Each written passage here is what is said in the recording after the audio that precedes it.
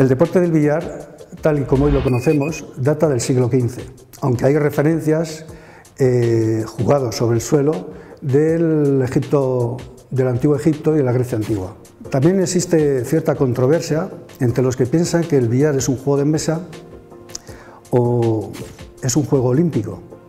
De hecho, en las Olimpiadas del 2004 se introdujo como dentro de la Carta Olímpica, aunque todavía este deporte no está considerado porque no ha participado en los Juegos Olímpicos. El deporte del billar también es un juego que exige una gran concentración y durante, la partida existe una gran tensión.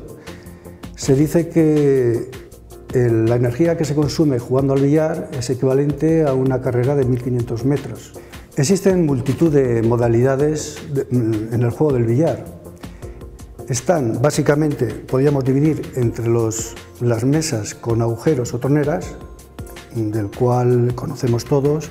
Está el juego del pool, está el snooker y el billar francés, que el juego se hace con tres bolas y que no necesitamos ningún tipo de agujero y donde hay también muchísimas modalidades.